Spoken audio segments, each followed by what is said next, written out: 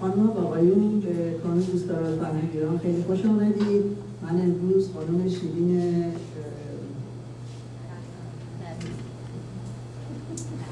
خانم شیرین نریمان رو خدمتتون معرفی می‌کنم. ایشون درباره بررسی انتخابات ایران صحبت خواهند کرد. من یه بیوگرافی کوتاهی از ایشون خدمتتون خانم شیرین نریمان زندانی سیاسی سابق فعال حقوق بشر و حقوق زنان می باشد وی فعالیت سیاسی خود را با شروع تظاهرات پیش از انقلاب ضد سلطنتی سال 1357 شروع کرد. در آستانه انقلاب با سازمان مجاهدین خلق آشنا شد و در تابستان 1358 فعالیت‌های خود را به طور جدی شروع کرد. در پاییز همون سال به انجمن دانش آموزان هوادار سازمان مجاهدین خلق دبیرستان دکتر هشترویی پیوست.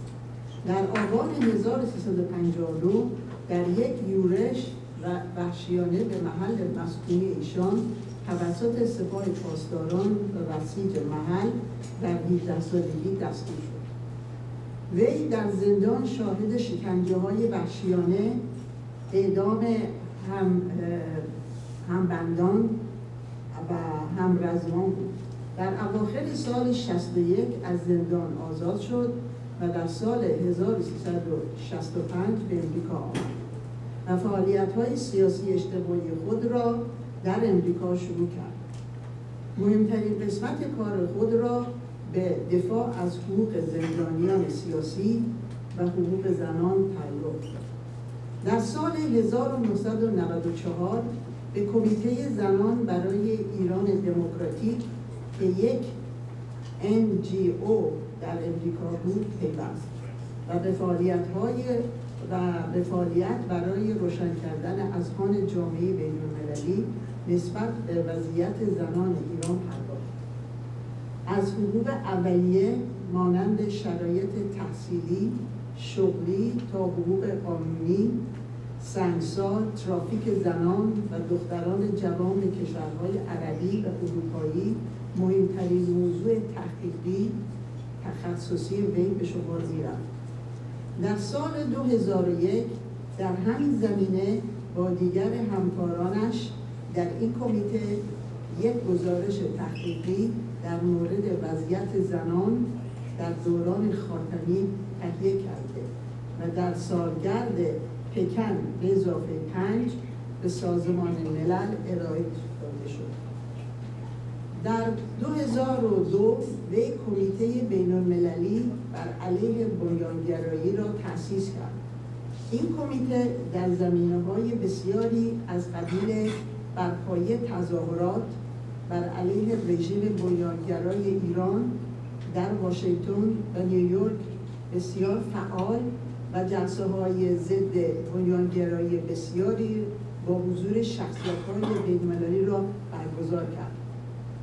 در سال 2005 وی سخنگوی کمیته علیه احمدی نژاد در تظاهرات 15 هزار نفره ایرانیان بر علیه حضور احمدی نژاد در نیویورک بود.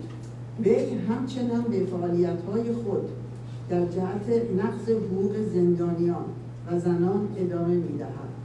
وی چندین مقاله به فارسی و انگلیسی در مورد سیاست امریکا و ایران نوشته است. خانم شیرین نریمان بفرمایید.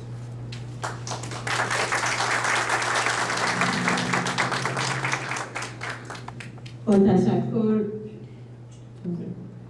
با سلام به حاضرین در جلسه در این جلسه و با تشکر از کارین ایرانیان برای اینکه به من این فرصت دادن که در خدمتتون باشم تا بتونیم کمی بحث انتخابات رو بررسی کنیم.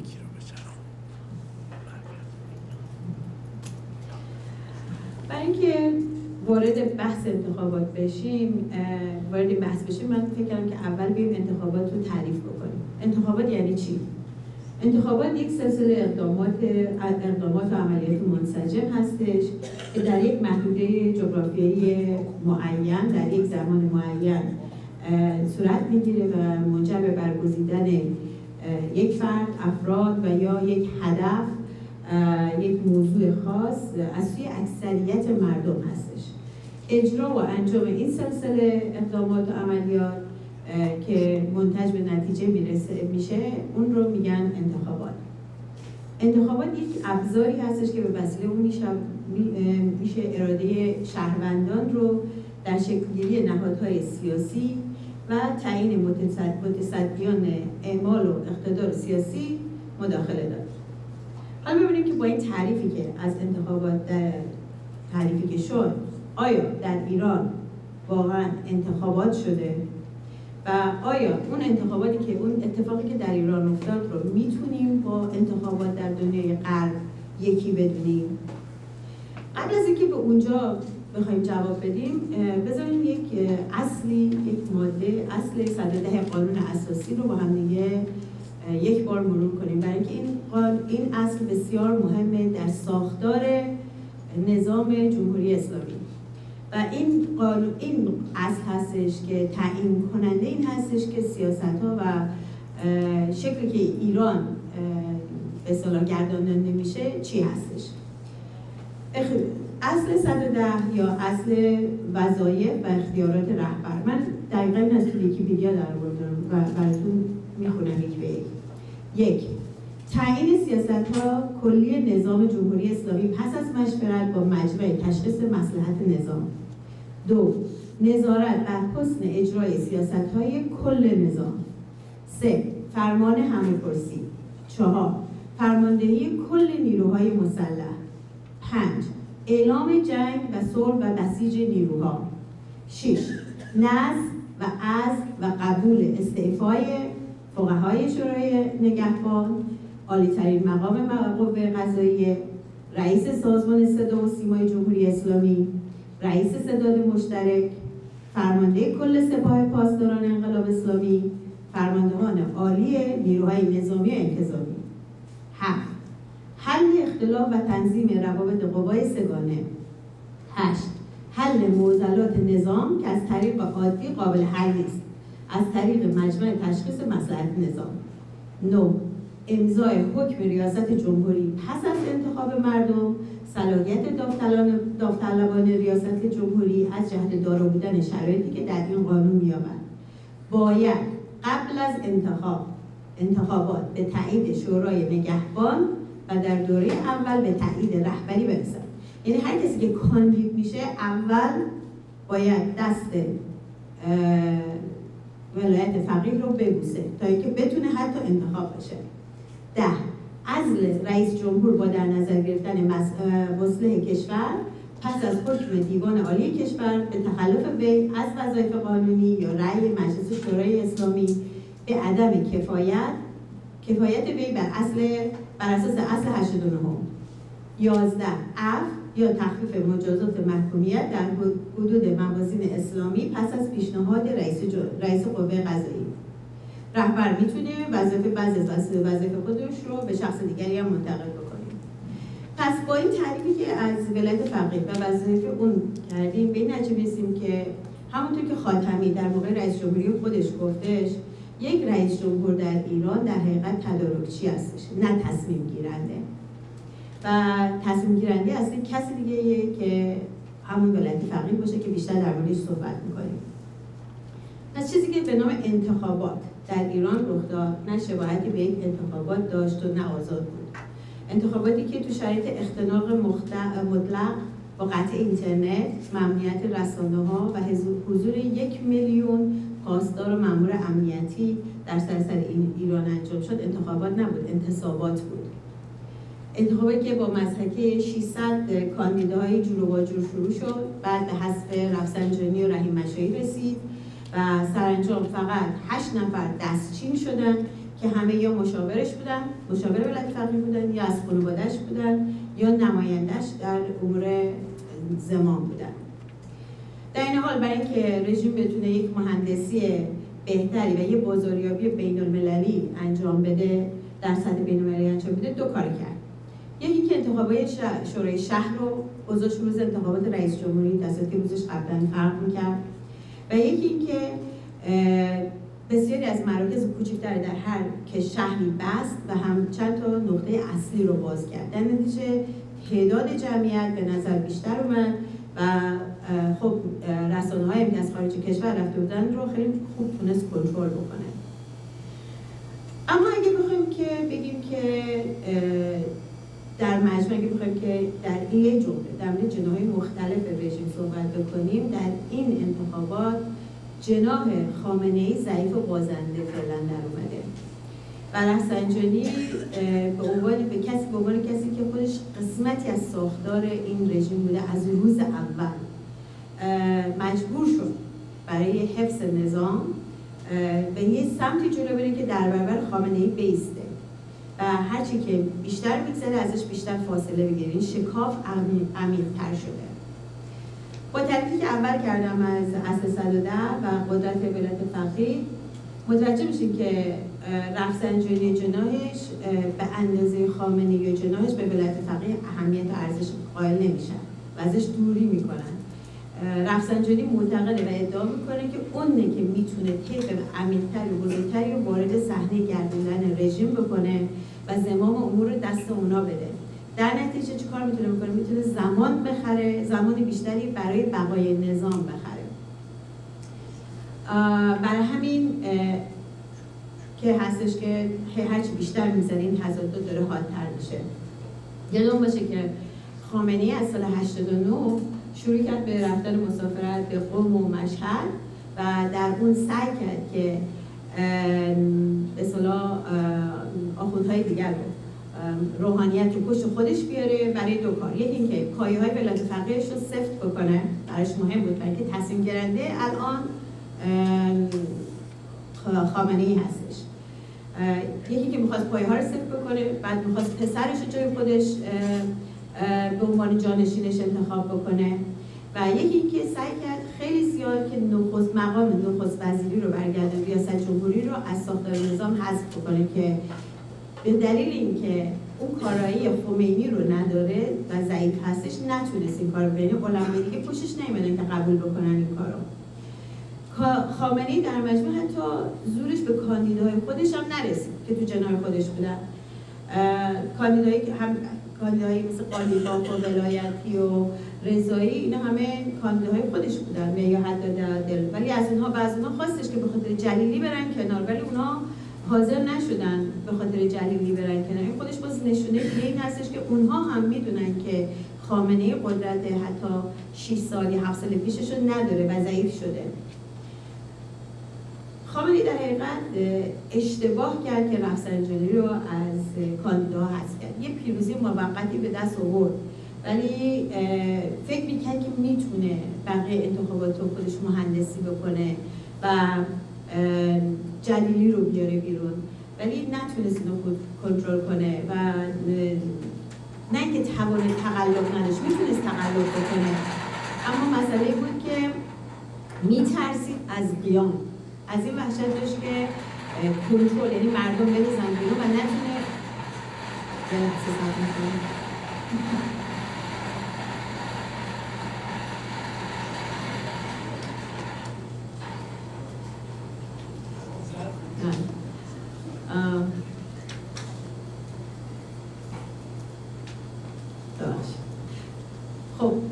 پس خامنه ای نه اینکه نتونه توان تقلب نداشته باشه توان اینه نداشت که بتونه کنترل بکنه که تو ایران چه اتفاقی میافتاد چون اگر می‌خواست قیام بی صورت بگیره مثل قیام 88 نبود این قیام 92 با قیام 82 خیلی فرق می‌کرد. بر همین مجبور شد که تن بده به نتیجه که در اومده بود. و مجبور شد که به روحانی تن بده.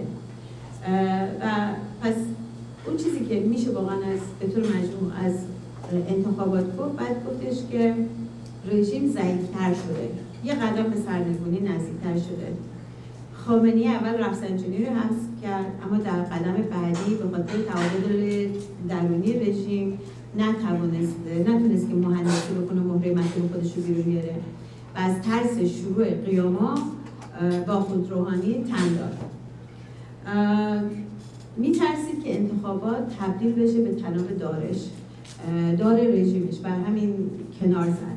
بساطش رو شتاب زده جمع کرد و از مرحله کردن انتخابات چشم پوشی کرد.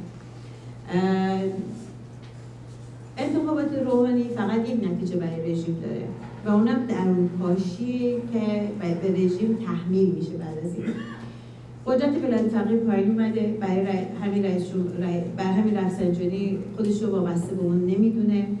خامنه ای در این مرحله بازنده شده. رفسنجانی در حال ساختن یک جبهه بر علیه خامنه ای هستش و بیشتر از همیشه در مقابل ولایت فقیه که هم خامنه ای باشه میسته.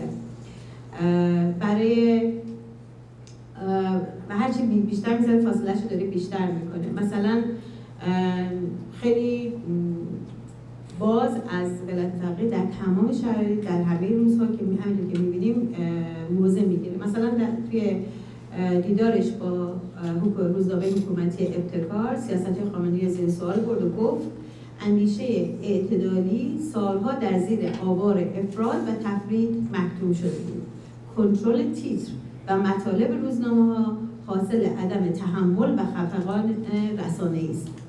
و یا توی مصاحبهش با العربیه وقتی که تعدادی از اعضای خانه صنعت معدن و تجارت جوانان ایران مازندران رو می‌دید با هشدار درباره تفکرات افراطی گفت مردم مردم و به ویژه جوانان نباید بگذارن رسوبات تحجر و دوگمندیشی دوباره دامن انقلاب و کشور را بگیرند و بلافاصله به زمان خودش برگشت و گفتش که همه چیز بهتر بود. همینطور برگشت گفتش که در دوران پس از جنگ عراق ایران ما با شعار دولت کار آغاز کردیم. ولی بسیار فراتر رفتیم و تونستیم جذب متخصصین از هر گروه جناهای سیاسی داشته باشیم مختلف سیاسی داشته باشیم. به زیر ساخته کشور در همه ابعاد توجه کردیم که بارز، بارزترین نتیجه آن کم, کم کردن بیکاری 16 درصدی سال 68 به 9 درصدی سال 76 بود. باز دوباره مقایسه می‌کنه زمان الان و با زمان جنگ عراق و ایران و میگه که شرایط امروز سختتر از زمان جنگ نیست. البته گردنه هایی وجود دارد که نظام می‌تواند با حفظ مساله و منافع ملت و کشور و با اتخاذ سیاست خارجی درست از آن عبور کنند. ببینید دست می‌ذاره رو تمام چیزایی که خامنه ای شدیدن روش مسئله داره. سیاست ایران رو ولایت فقیه و یه خامنه ای طبق قانون اصل ده قانون اساسی تعیین می‌کنه. نه رفسنجانی. رفسنجانی روش بایستده رو به روش بایستده رفسنجانی در مورد بایشاده انتخابات ریاست جمهوری ایران میگه که البته مشکلات هنوز هم حل نشده. اما با نشاط کامل برای مردم با نشاط کامل برای کاری که خودشان کردن ارزش قائل هستن. و امیدوارم دولت به تدریج و با تعیین اولویت ها به مسائل بپردازد. یعنی باز میگه که ما می‌تونیم مسائل رو بهتر بکنیم. روزگار مردم خوشحالن از اینکه یک کس جدید انتخاب شده. فعلا رفسنجانی خودش رو برنده از این جریان می‌دونه و سابله کابینه آنخون روحانی. و فکر می‌کنه که می‌تونه خیلی روش تاثیر بذاره. و هر روزم برای ولی فقری و باند اون خط نشون می‌کشه. تو این چند روز اخیر هم شدیدن داره شاری می‌کنه چون خود دوباره برگرده به نماز جمعه. و یک سری از روحانیایی که هوادارش هستن اونها رو به میدون آورده و اونها دارن فشار میارن که رفسنجانی دوباره به صحنه امام جمعه بودن تهران برگرده. و میگه که اگر بیایم باید خیلی چیزها رو بگویم. مسعود مرادی که از مشاورین رفسنجانی به نقل از وی گفت من اگر بیایم باید خیلی چیزها رو بگویم. اگر بخواهم خیلی از مسائل رو بگویم ممکن است وضعیت به هم بخورد. اگر هم نگویم این نگفتن باعث ساقط شدن عدالت خواهد شد. بگم بگم رفسنجانی شروع شده. یه موقع بگم بگم احمدی نژاد داشتیم حالا رفسنجانی داریم. البته این جنگ گرب ها واکنش ولی فقیه هم از اون برداره اونام ساکت نمیشینن و شروع می‌کنن به مقابله کردن. یکی از رسانه های باند خامنه ای می نویسه ظاهرا فراموش شده که خطبه های هاشمی در 26 تیر ماه سال 88 چه تأثیری بر کشور گذاشت. آن زمان که کشور بیش از همه به سکوت و همراهی جناب هاشمی نیاز داشت سخنان ایشان چون بنزین بر آتش آن روز کشور بود. این رسانه بعدم با یه لحن توهین آمیزی دوباره بهش میگه که وی با سکوت در برابر فرزندش که فرزندانش که تبدیل به شوالی های آشوب پایتخت شده بودند نشان داد که مسلحت سنجی خانوادگی را بیشتر از مسلحت سنجی وطنی می‌داند. از این رو تلاش برای بازگرداندن هاشمی به خطبه‌های نماز جمعه در حقیقت تلاش برای استفاده ابزاری از تریبیون در جهت اهداف درازمدت سیاسی است. اونا به خوبی می‌دونن برای چی میخوادیم برگرده به نماز جمعه؟ به خاطر اینکه می‌تونه اهداف سیاسی جناب خوش رو پیش ببره می‌تونه جلوی خامنه ای بیسته. ولی خب همین که گفتم جنگ هستش بین رفسنجانی و خامنه ای رفسنجانی رسانه های نزدیک به رفسنجانی اونها هم اینطوری برمیگردن می نویسن که یکی از مواردی که به شدت به خصوص به خصوص از فعالان سیاسی مطرح و البته پیگیری می شود بازگشت هاشمی به صحنه نماز جمعه است. البته هیچ کس نمی‌تونه ادعا بکنه که سن هاشمی برای حضور در نماز جمعه بالاست. یعنی می‌خواد اینا زود میبندن که یه موقع نگین هاشمی سنش بالا رفته می‌تونه هنوز بره. و آخون منتخب نیا پر میگه که افرادیون باید خود رو اصلاح کنن. چرا که با این حرکت ها دیگر در جامعه, جامعه جایگاهی ندارد. امروز کفن پوشی رنگ و لعاب خود را برای ما از دست داده است و مردم آنها را مورد استحضا قرار می‌دهند. این کفن پوشی رو شریعت مداری از هواداران خامنه ای در یک بحث دیگه که حالا من بعدا میارم اون چیز میگه که ما کفن میپوشیم اگر در با چیدن کابینه. ولی خب همون که گفتم جنگ گرب ها ادامه داره آخوند علم الهدام از اون طرف که نماینده خامنه تو مشهد هستش برمیگرده میگه که من به رفسنجانی موقع خیلی نزدیک بودم خیلی تا سال 78 ولی از سال 78 به خاطر جسارتایی که علیه مقام معظم رهبری انجام داد که آن اظهارات نظر و اعتقاد, اعتقاد من را در, در مورد هاشمی به کلی مخدوش کرد. البته این خدشه در مورد هاشمی امروز نه تنها در من بلکه در بسیاری از متدینین و انقلابیون پیش از انقلابیون پیش آمده است. یعنی که باز فاصله. همین این شکاف توی سپاه هم تاثیر داره. برای اینکه سرای سپاه به هر کدوم از جناهای به این دو جناح وصل هستن. یه هوادارای خامنه‌ای هستن یه عده هواداری رفسنجانی هستن. یعنی در همین الان هم توی سپاه شکاف ایجاد شده بین دو دو جناح پس در مجموع روی کار آمدن آخوند روحانی محصول سلسله ای از شکست های تمامیت این رژیم هستش. شکست خامنه ای فروپاشی جناح حاکمه شکست احمدی نژاد بنبست سیاسی انقباض وقتی که هی سعی کردن صرف کنن حتی اون سیاست هم دیگه کارایی نداشت. شکست و ناتوانی اصلاح طلبان حکومتی به اینجا می‌رسه که انتخاب روحانی برای اصلاح و نجات رژیم آخوندی از سرنگونی نیست بلکه گزینه برای فاز پایانی آخوندها.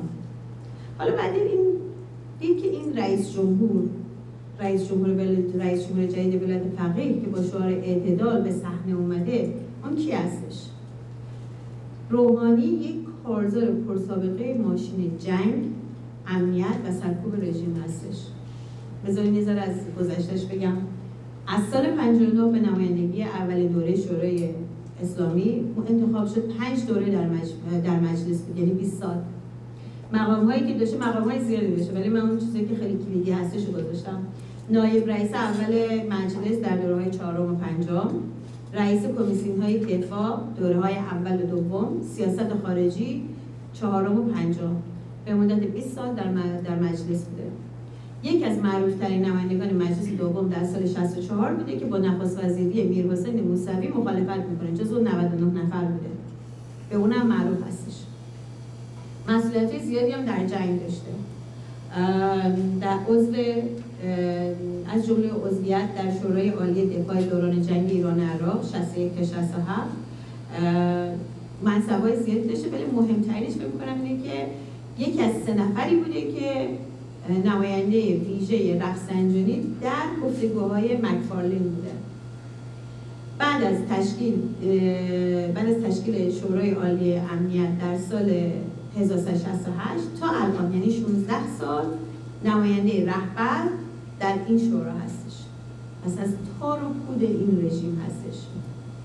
مهمترین یکی از مهمترین رخدادهایی که پیش اومد در دوران بودن اون در شورای عالی امنیت وقایع کوی دانشگاه در سال 78 بوده. و موضعگیری اون این بوده که تظاهر کنندگانی که به اموال عمومی خسارت زده اند باید به عنوان دشمنان حکومت محاکمه شوند. جرمی که می‌تواند مجازات مرگ را در پی داشته باشد. حرف خود روحانی هستش. پس اون دست از دوستانی که فکر می‌کنن که الان وضع آزادی و دموکراسی و این چیزا پیش میاد این خودش خود روحانی در سرکوب دانشجو در سال تصمیم گیرنده جزو تصمیم گیرنده های اصلی بوده. بوده که وقتی که بحثای درونیش تو شورای عالی امنیت پیش میاد به نفع رحیم صفوی رأی میده و از اون می‌خواد که به تهران بیاد و میگه سپاه باید برای دفع فتنه وارد تهران بشه. در همین رابطه وقتی که با روزنامه شرق در سال 99 قبل از انتخاباتش مصاحبه می‌کنه وقتی ازش می‌پرسن که در مورد نقشش توی سرکوب دانشجو دانشجویان برمیگرده میگه که هدف جمع شدن سریع ناامنی از تهران بود. هدف جمع شدن سریع ناامنی از تهران بود.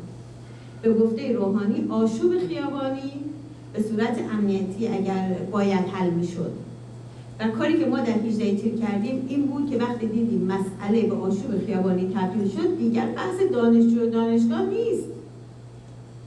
و از اقدامات شورا در این وقایع اونا رو درست و خرد برزانه نامید. یعنی که موقعش که بشه خیلی هم تبهرم داره در اینکه بخواد سرکوب بکنه. به هر شکلی که وجود داشته باشه. از سال 82 تا 86 چهار سال ریاست گروه مذاکره کننده در پرونده هسته بود. و به این ترتیب تونست یه مقدار اعتماد سازی بکنه. یه مقدار حقوق ایران تثبیت کنه در حقیقت وقت بخره برای ایران برای اینکه بتونه بتونن ایران بتونه به کارهای هستهش ادامه بده. شکاف ایجاد کرد در غربی ها و باعث شد که جلوگیری کنه از ارجاع پرونده ایران به شورای امنیت. برای همین هم هستش که الان خیلی روش حساب باز کردن که می‌تونه باز هم این وقت بخره برای اینکه ایران به هسته دست پیدا بکنه. ولی وقتی که تضادش با احمدی نژاد خیلی بالا رفت استفاده و جدیدی جاش اومد. ببینید واقعیت اینه که روحانی خودش جز تاروکود این نظام هستش. خودش از روز اول در همه چیز شرکت داشته. هیچ فرقی با دیگران نداره. با تعریفی که اول از ولد فقیه کردم تصمیم گیرنده اصلی کسی دیگه است. فقط اینا عوض میشن. و اینم کسی نیستش که جلوی خامنه ای بیسته و بخواد مثلا کار متفاوتی بکنه. من که خودش از جنس همین نظام هستش. حالا ببینیم که ایران چه بحران این رئیس جمهور جدید چه بحرانایی در مقابلش هست؟ بذاریم اول یه بحثی رو باز بکنم. بگیم که ولایت فقیه روی چی سواره چه چیزایی برای ولایت فقیه مهمه؟ سه چیز. اتمیش هسته‌ایش سوریه که همون مداخله در میانه هستش و سومیش حقوق بشره اگر یکی از این پایه ها رو از این پاش بکشی بیرون میفته مجبوری تو این ستا کم کم نمی‌ذاره و تا آخرش هم وایستاده. حالا من یکی یکی همه رو روش بحث می‌کنم. به همه این الان وضعیت شدید بحران اقتصادی رو هم اضافه کنیم. آیا رژیم می‌تونه از مقاصد اتمیش بگذره. فکر می‌کنین بعد از این همه سال که اینا وقت خریدن و درست کردن اینا آیا رژیم میاد همین الان میگه من هسته ای نمیرم پاش اگه خیلی کوتاه بخوایم بگیم نه نمی‌ذاره چرا که رژیم و به خصوص جنای خامنه‌ای بقای خودش رو توی داشتن بمب اتم می‌دونه. چرا خود بقای خودش رو بمب اتم می‌دونه؟ برای اینکه می‌دونه اگه بمب اتم داشته باشه غرب همینجوری مجبور قبولش بکنه. با همه چیزاش بعد قبولش بکنه. دیگه نمیاد باش بحث بکنه دنبال و غربم یادتون باشه. خواسته آمریکا و یا غرب تغییر رژیم ایران نیست. نمی‌خواد رژیم تغییر بکنه. می‌خواد یه ذره تغییر اون تو بشه. یه ذره مثلا همه چیز یه ذره بهتر بشه. ولی برای رژیم این خیلی مهمه که حتما بمب هسته رو داشته باشه. رژیم همیشه می‌خواسته ابرقدرت و حاکمیت بنیادگرایی رو داشته باشه توی دنیا. اینو بارها بارها خود خامنه‌ای خود سران رژیم بارها بارها گفتن که از دو چیز کوتاه نمیان. هسته سوریه خط قرمزشونه و ازش کوتاه نمیان. ببینید ولایتی در مصاحبه‌ای که با شبکه المیادین لبنان در ایسنا منتشر شده سی دی 1390 صحبت می‌کنه میگه که بعد از پایان دو قطبی بودن جهان امروز شاهد آن هستیم که جهان از قطبهای متعددی تشکیل شده. جهان اسلام یکی از قطبهای مهم در آینده است. البته به شرطی که در راستای تحقق وحدت امت اسلامی گام برده بشه بشه یعنی چی؟ یعنی بون ابرقدرت یا قطبم بنیادگرایی باشه ولی زیر نظر ولایت فقیه زیر نظر رژیم جمهوری اسلامی نه کسی دیگه. حالا روحانی و یا به عبارتی دیگه خود رژیم. با تصور به این داریم که بگیم که در مذاکره این چهار سال تو مذاکرات هسته شرکت داشته دیگه. پس حالا می‌تونه سیاست رو یه مقدار طول بده بعد به استحاله بکشونه این بحثا رو تا اینکه رژیم بتونه به هسته ای دست پیدا بکنه نمیره پشتش. صد درصد صد درصد فکر می‌کنه. اما همینقدر که ما می‌دونیم روحانی کی بوده قلب هم دقیقا می‌دونه که روحانی کی بوده. درست بلافاصله بعد از انتخاب شدن روحانی در واشنگتن پست که روزنامه لیبرال و دموکرات و دموکرات بیشتر به طرف چپ هستش در وال استریت جورنال در بوستون گلوب نیکولاس برنز توی بوستون گلوب می نویسه اختار میده به اوباما که حواست باشه این خودش سالها با ما در مذاکرات هسته شرکت داشته. حواست باشه یه موقع از تحریم کوتاه نیایی یا؟ یعنی برای اینکه می‌دونه برای کمتر از یک سال مونده به اینکه رژیم هسته ای داشته باشه. بعد این به نگاه بکنیم. آیا ایران اجازه آیا غرب اجازه میده با توجه به تمام شکلی در خاورمیانه هستش؟ آیا غرب این اجازه رو میده به رژیم که هسته ای داشته باشه. وقتی که اینقدر وقت کمی وجود داره یک دوران کوتاه مدتی وجود داره که باید یه سری چیزا تعیین تکلیف بشه.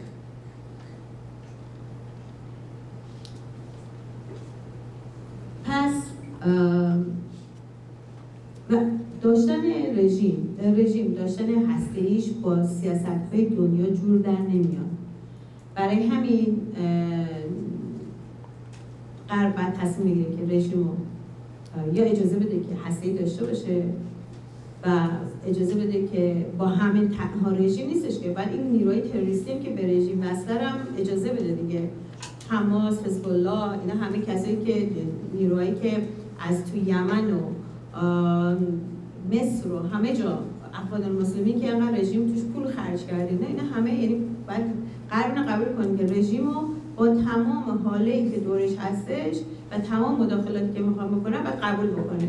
سوال اینه که آیا قبل اجازه رو میده که رژیم هسته داشته باشه که از موضوع قدرت باش بحث وارد مذاکره بشه یا نه؟ که به خاطر همینم رژیم کوتاه نمیاد. رژیم از هسته ایش کوتاه نمیاد. ممکنه هی وقت بخره ولی کوتاه نمیاد. پس بحران اتمی سر جاشه. بحران سوریه. مثل اتمی رژیم به سوریه احتیاج داره. به مداخله توی سوریه احتیاج داره. چون جبهه سوریه برای حفظ براش اسد مهم نیست. سوریه براش مهمه. برای جاپای خودش توی خاورمیانه اگر بخواد از اونجا کوتاه بیاد بعد از عراق جاهای دیگه هم کوتاه بیاد. برای همین مجبوره. و به خاطر اینکه هنوز تو ذهنش داره که می‌خواد بشه ابرقدرت دنیا. می‌خواد ابرقدرت بنیادگرایی و اسلامی داشته باشه. برای همین که انقدر پول تو کشورهای اسلامی خرج می‌کنه. پس از اونم کوتاه نمیاد برای اینکه سوریه براش مهمه. دولت ارتش آزادی بخش سوریه خودش رو در حقیقت در جنگ با ایران می‌بینه. نه با جنگ با اسد. اگه ایران پشت اسد نبود اسد خیلی وقتش افتاده بود. حالا به نظر مثل که غربم داره یک سری تصمیم میگرد چه واقعا خیلی کوتاه خیلی به خیلی یواش داره عمل می‌کنه. ولی اگه واقعا حمایت غرب میمد پشت ارتش آزادی بخش سوریه خیلی سوریه خیلی زودتر از این تعیین تکلیف می‌شد. این جنگی که توی رژیم توی سوریه هستش یه جنگ کثیفیه که برای حفظ اسد نیست برای که بلکه برای نجات خود خامنه ایه در تهران. این رژیمی که نیاز داره برای حفظ خودش بنیادگرایی بنیادگرایی تروریسم از افغانستان عراق تا بحرین و یمن گسترش بده. همونطور که ولایتی در یک مصاحبهش میگه که اسد خط قرمز ماست. روحانی همونطور که از اتمی نمی‌تونه کوتاه بیاد از حمایت از اسد در سوریه هم کوتاه نمیاد. و اگر هم بخواد کاری بکنه نمی‌تونه توانایی که بخواد با خامنه ای به جناح سرسخت رژیم وارد جنگ و دعوا بشه نمی‌تونه. تواناییشو نداره وارد نمیشه. اگر هم کوتاه آمریکا و غرب باید تصمیمگیری جدی در مورد ایران بکنن در کل سیاست خارجی رژیم در دوران روحانیش تغییر نکرد. دوباره برمیگردم به اصل 110 قانون اساسی که سیاست های خارجی ایران رو در حقیقت ولایت فقیه تعیین می‌کنه. نه رئیس البته لابیای رژیم اون دسته که موافق خط مماشاتگری با رژیم هستن اونا بیکار نشستن. و ممکنه که بیهوده باشه ولی ساده لحانه فکر می‌کنن که یا می‌خوان نشون بدن که روحانی میانه روه که هیچ اشکالی هم نداره. چون اگه واقعا روحانی میانه رو باشه باید از یک سری چیزا بگذره. خب اشکال ما از این هم استقبال می‌کنیم که امیدوارم که روحانی میانه رو باشه و یه سری دست از یک سری کارش برداره. مهم اینه که اگر از هسته کوتاه بیاد یا از هر بیاد اون سپایه باشین. از هر کنش کوتاه بیاد رژیم سرنگونه. در رابطه با همین سیاست تعیین سیاست هاش بروجردی که مسئول بروجردی در پاسخ به این چرا برخی جریان های نظامشی روحانی رو در سیاست خارجی مشسازی می‌کنن تصریح کرد. این, این اتفاق در هیچ دولتی نخواهد افتاد. زیرا مسئولیت سیاست گذاری کلان کلن کلن با رهبری است. پس دوباره برگردیم به همون سریده حتی این سازش در زمان خاتمی رقم نخورده و پروتکل الحاقی به تصویب نرسید. دلیل این موضوع جایگاه ولی فقیه که با اختیارات خود اجازه نخواهد داد سازش بر سیاست های کشور حاکم شود. پس تصمیم از جای دیگه سیاست ایران عوض نمیشه. بحران اقتصادی یک موزل واقعی که رژیم به طور جدی باهاش روبروه. همین یارانه هایی که احمدی نژاد شروع کرد برای یارانه دادن برای اینکه بخواد جمعیت رو پشت خودش بیاره که موفق هم نبود. به نفعش کار نکرد. وقتی خودش اون گرد همایی رو تو ورزشگاه آزادی گذاشت. دیدیم که کسی اصلا نرفت و خودش هم فهمید که کسی نیمده اما در مورد یارانه ها باید اینطوری این رو باید از زبان رژیم شدید که میگه که در روزنامه کیهان اکبر ترکان مشاور آخوند حسن روحانی گفت وضعیت اقتصادی کشور خرابتر از تصور قبلی ماست. دولت احمدی نژاد به جای تامین پول یارانه ها یارانه خانواده از محل افزایش قیمت سوخت این پول را از جاهای غیرقانونی تامین کرده. و همینک پولی برای دولت روحانی برای پرداخت یارانه ها باقی نمانده است بودجه 210 هزار میلیارد تومانی داده شده که به نظر من 80 هزار میلیارد تومان از درآمدهایش محقق نمی شود. اون در همین زمینه میگه که دولت آینده قادر به ادامه پرداخت یارانه ها نیست حالا این قشر محرومی که روی این یارانه ها حساب کرده و حالا این یارانه ها رو نگیره با این وضعیت اقتصادی که همه ما هر روز می‌شویم با این تورمی که میگن 500 درصدی و 700 درصدی و یک رقمای نجومی می‌بینیم. فکر نمی‌کنین همین اینها وقتی یارانه هاشون نگیرن به خیابون ها نمیرزن خواسته شد این نخواهد بود که چجوری بخوان به زندگی معمولی خودشون ادامه بدن؟ خود این یک موزل بسیار جدی برای رژیم هستش در حال حاضر. بحران آزادی ها برای اون دوستای سبز و بنفش که میگن روحانی اومد و آزادی ها برگشت و دیگه خیلی همه چی باز میشه. بعد اینو بگم که نه تنها باز نمیشه بدتر میشه. ببینید درست دوازده سال بعد از اعلام نتایج انتخابات انتخابات ایران کمپ لیبرتی که 3200 نفر ساکنان آن از مجاهدین و مخالفین جدی رژیم هستن بمباران میشه. دو نفر کشته میشن هفتاد یک نفر زخمی. موج اعدام ها به شدت بالا رفته. طبق گزارش بنیاد برومن در جولای یعنی در این 21 روز 82 نفر اعدام شدن. از روز انتخابات انتخاب روحانی که الان 132 نفر اعدام شدن. 6 نفرشون زن. از این 6 نفر یکیشون قبل از اینکه اعدام بشه شلاق خورده. یکی از این کسانی که اعدام شده بچه‌ای که اعدام شده تو زمان جرمش 15 سالش بوده. از کمتر از 15 سالش بوده. همین الان چهار هموطن عرب زیر خط اعدام هستن. اعدامشون تصویب شده. از موج اعدام بالا رفته. برای چی موج اعدام بعد از نمایش انتخابات اینطوری بالا رفته؟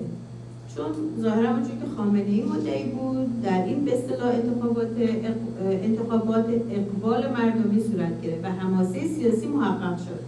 این کشتارا برای چیه؟ قتل افشین حسانلو در زندان گوهردش و علیرضا شهبخش در زاهدان که هر دو زندانی سیاسی بودن هدفش چیه؟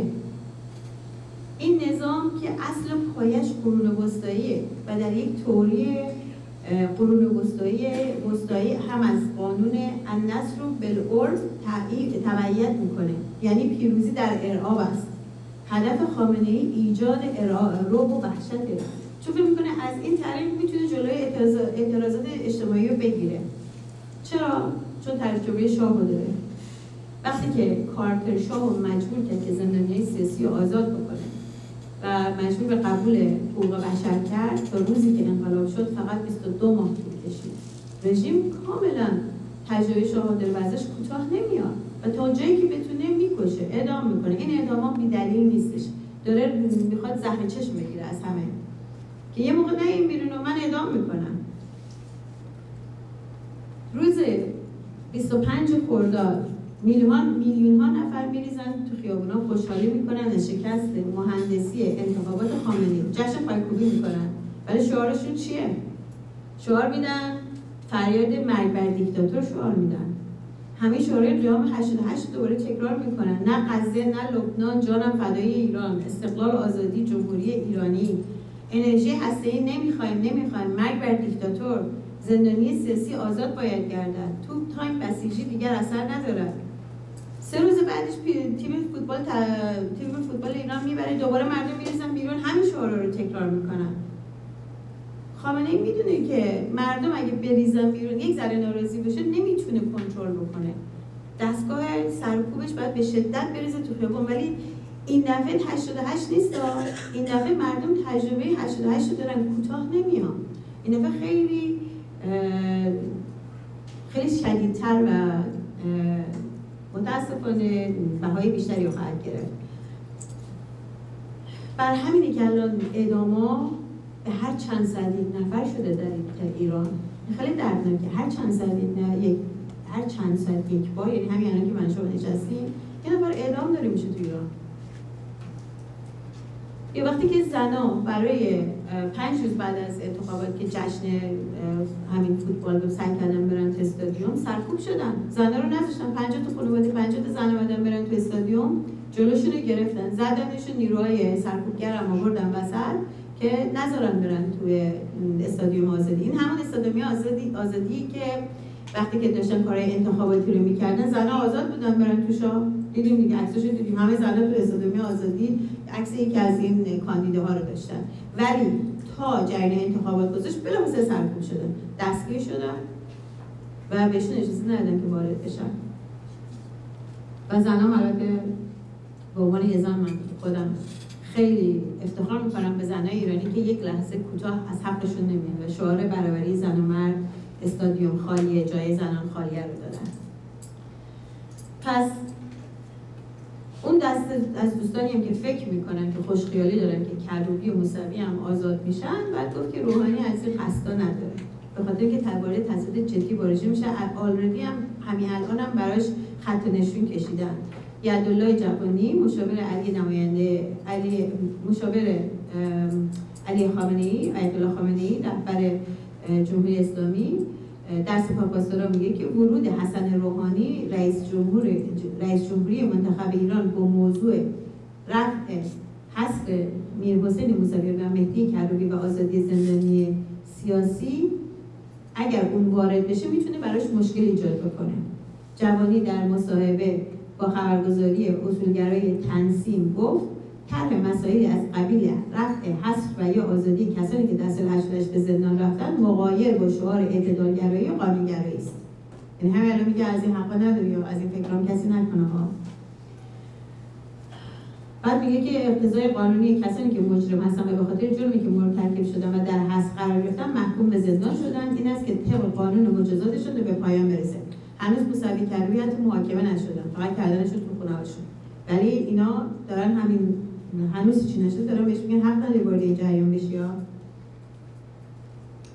جوانی درخواست از روحانی برای رفع حصر موسوی کروبی و آزادی زندانی سیاسی را یک فرصت طلبی دانسته و گفت مطرح کنندگان این مسئله به دنبال اهدافی خاص هستند. پس اینم از حقوق بشر و آزادی و حقوق بشر. همین الان بین حتی جنه های اصولگرا هم الان درگیری سر همین کابینه رو چجوری بچینن؟ با نزدیک شدن زمان تشکیل کابینه خواب آخوندی بحران توی رأس حاکمیت رژیم شدیدا بالا گرفته. یکی از رسانه‌های باند مغلوب میگه که این گروه یعنی باند خامنه ای پیش از آنکه روحانی فرمان اجرایی کشور را در دست بگیرد برای چینش کابینش نسخه میپیچند. هر روز ضمن هشدار و انذار اختیارات او را هدف قرار می‌دهند. جالبتر که جالبتر این که با پوزیشن و زشت جست خیرخواهی دلسوزی اقدام به دادن هشدار می‌کنند برخی ازشان صریحا اعلام میدارن که اگر آنچنان که ما می‌خواهیم میپسندیم نشد اقدام به راه اندازی قائله کفن پوشان می‌کنیم. یک روز به عنوان یک همکار در کنار رئیس جمهور جدید برایش تعیین تکلیف می‌کنن و روز دیگر در مقابلش قرار می‌گیرن و از موضع رویارویی و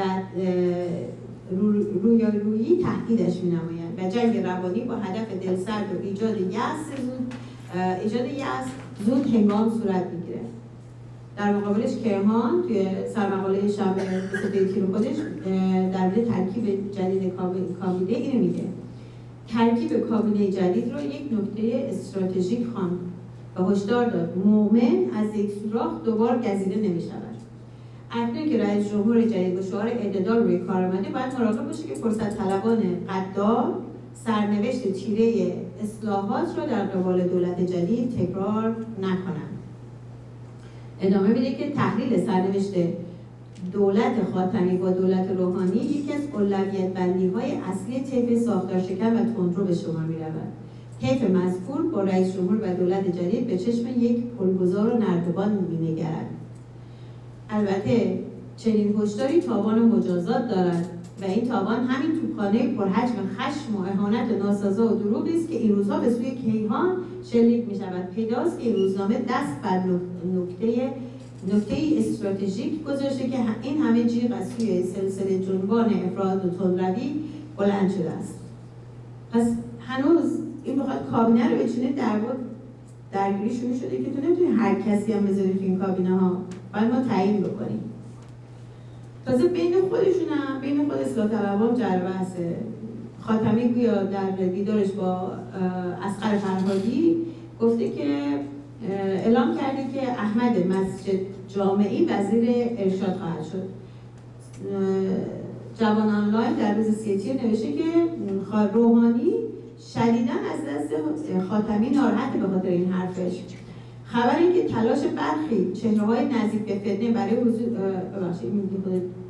میگه که نزدیکان روحانی می‌گویند این گونه برخوردها اخلال در روند بررسی ها و تصمیم ها به وجود آورده و علائم سهمخواهی افراد و گروه ها را آشکار می‌کند پس میگه که یعنی جلو زیاد ندید از این طرف هم میگه که خود همین آنلاخین برمیاد میگه که خبر این که تلاش های برخی چهرهای نزدیک به فتنه برای حضور خاتمی در مراسم تنفیذ و تحلیف رئیس جمهور منتخب نقش براب شده است.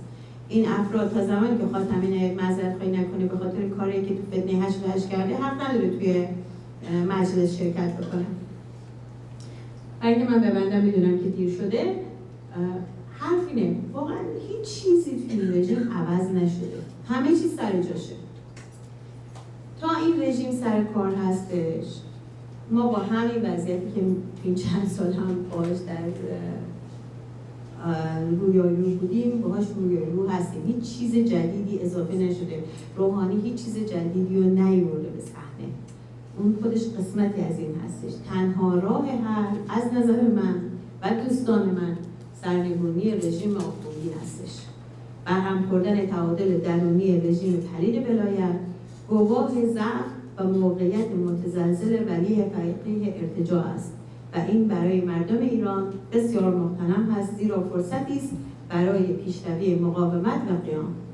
بدون آزادی بیان و حقوق بشر و تا وقتی زندانیان سیاسی و فعالیت احزاب آزاد نشده تا وقتی که سیاست کارانه رژیم دستوری و عراق ادامه داره و تا وقتی که رژیم برای دستیاری به بمب اتم پا فشاره هیچ چیز عوض نمیشه. برای اینکه ولایت فقیه می‌دونه که هر گونه تغییر جدی در این سیاست ها به سرنگونی تمامیت رژیمش راه می‌بره. شاهراه آزادی همانا راه حل سوم یعنی نه مماشات نه جنگ بلکه سرنگونی استبداد مذهبی به دست مردم و مقاومت ایران هستش. با تشکر از همین